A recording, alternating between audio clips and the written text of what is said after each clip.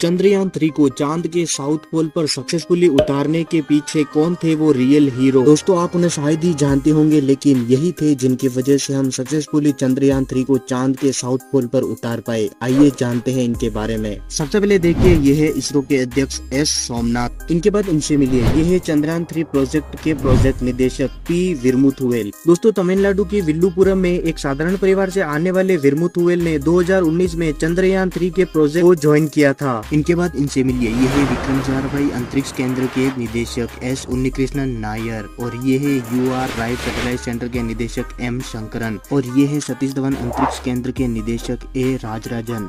इन real life heroes के लिए video को एक लाइक ज़रूर करना।